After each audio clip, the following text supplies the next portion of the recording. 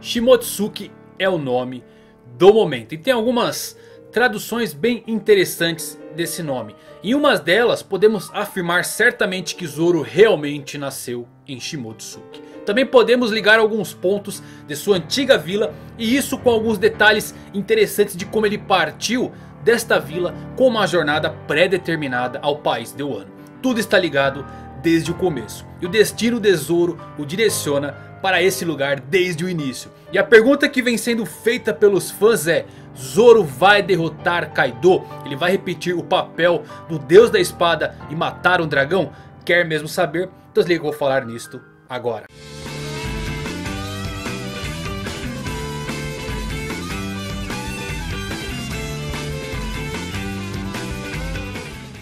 Fala galera, Evandro Fusari, Evandro com mais um vídeo pra vocês. Como vocês estão? Espero que todos estejam muito bem. Esse último capítulo de One Piece serviu pra deixar os teoristas e fã do Zoro de plantão aí todos fervorosos. Será que Zoro vai matar Kaido? Bom, eu trago umas informações bem interessantes aqui em relação ao nome Shimotsuki. E vou deixar aqui o meu ponto de vista se Zoro vai ou não pegar a espada lendária que conseguiu ferir aquela casca grossa de Kaido. E ele vai matar, será um dragão no país do ano. Acompanhe até o final porque esse vídeo tem bastante informação para você que gosta da cultura japonesa e sobretudo de One Piece. Então se inscreve se ainda não se inscreveu. Escritão Galáctico, dispara o like para dar uma fortalecida. E bora lá desvendar esses mistérios do nome Shimotsuki e do Zorão.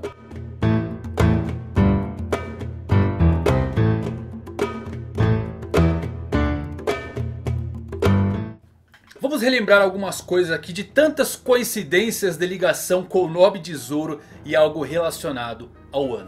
Zoro pode ter nascido em Wano ou ter parentesco com alguém? Tudo indica que sim. Mas o Oda brinca com os leitores. Sabemos que o Zoro é confirmado por nascer no East Blue por um SBS. Porém no Databook Green Sabo estava confirmado como morto. Então tudo é possível quando se tem as rédeas da criação como Oda tem em One Piece. Ele pode deixar essa info de Zoro nascer no East Blue por anos simplesmente por ele ter aparecido por lá no início da série. Mas ele surgiu já com 10 anos de idade. Então temos aí 10 anos de buraco na sua linha temporal para Oda poder explorar. Em outro SBS Oda disse que um navio saiu de Wano e nele um dos descendentes de uma pessoa deste navio é alguém familiar a todos. Porém na mesma informação ele coloca que não é algo muito grande, apenas uma história menor que um dia ele pode falar ou não. O que poderíamos descartar sendo Zoro, pois sua história seria algo grandioso dentro do enredo de One Piece.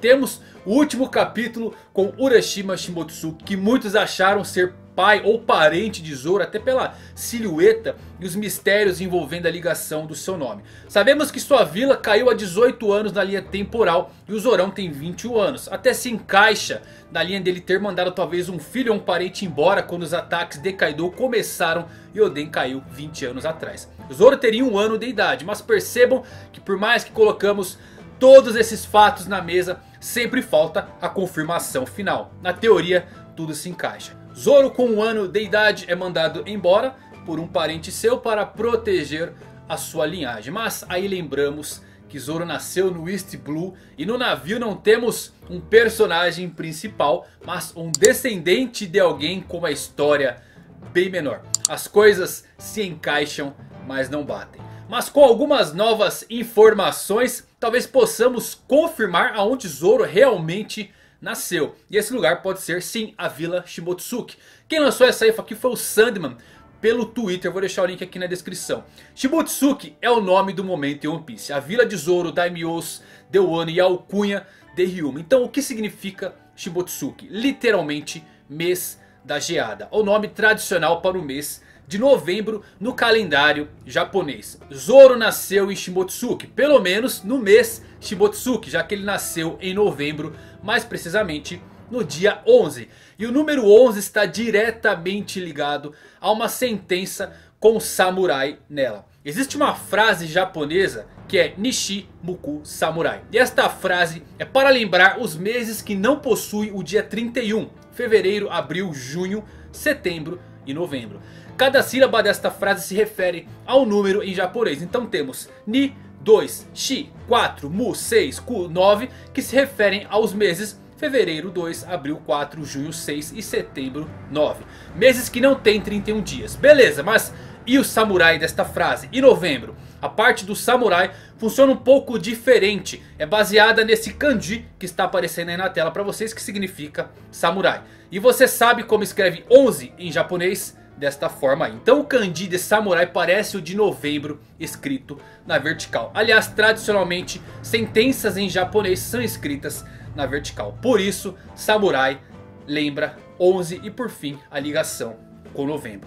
Nesta frase utilizada lá no Japão. A tradução de Nishi Buku Samurai é um samurai que encara o oeste. E se lembrarmos do Dr. Hiruluki em seus tempos de ladrão, ele avistou uma cerejeira em um país no extremo oeste. Sabemos que o ano está mais ou menos nesta localização. Logo Zoro nascer no mês Shimotsuki, na vila Shimotsuki, literalmente ser o samurai que encara o oeste, seu destino foi prenunciado desde a criação do seu nome e do seu nascimento. E é interessante como podemos ligar mais ainda a jornada das determinações herdadas. Luffy herdou a determinação de Roger, Zoro pode ter herdado a de Ryuma.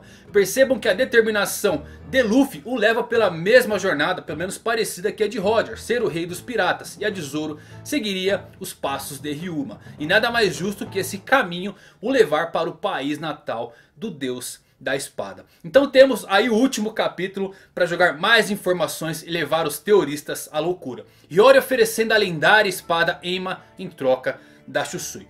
Ema é a espada que fez a única cicatriz em Kaido, o dragão. Porém, a Shusui é a única espada a matar um dragão. O que Zoro vai escolher? Ele vai dar o golpe final em Kaido? Fica subentendido que Zoro não vai se desligar da Shusui. Ele está acostumado com ela, os fãs estão acostumados com ela. E ele ganhou do próprio Ryuma e a espada o reconheceu como seu dono. Mas ao mesmo tempo temos aquele paralelo do quanto a espada é importante para a fé do povo de Wano. Bom, existem várias linhas de teoria para os fãs seguirem. E eu não gosto de afirmar nada porque em One Piece tudo é provável. A linha que eu acho interessante é que Zoro vai sim pegar a Ema. Mas de forma temporária para as lutas que vão se seguir. E usar o seu Santo Ryu, o estilo de três espadas, enquanto a Shusui está fora. Esta lendária espada de certa forma é um símbolo para Momonosuke, que também deve acabar aí como Shogun do país no final do arco. É o símbolo da luta contra Kaido. E a Ema deve acabar na cintura de Momo no fim de tudo para finalizar a sua coroação. Se lembre que em Wano espadas valem mais do que coroas. Mas Zoro deve utilizar a Ema sim e sim deve usar contra Kaido. Mas não para dar fim à batalha. Depois do último capítulo podemos definitivamente esperar que o Zoro faça algo, pelo menos algum dano em algum dragão no país de Wano. Zoro usando a espada para cortar Kaido, distraindo ele o tempo suficiente para o Luffy talvez carregar um novo Gear e dar desfecho na luta cai perfeitamente. Se lembre que os Yonkos são obstáculos para a jornada do nosso protagonista, Luffy. Mas se Kaido sempre ganha no X1, Zoro causando dano em sua pele impenetrável abriria caminho para o golpe final. Além disso temos Orochi, um oponente que Zoro começou a odiar e um tirano para com seu povo.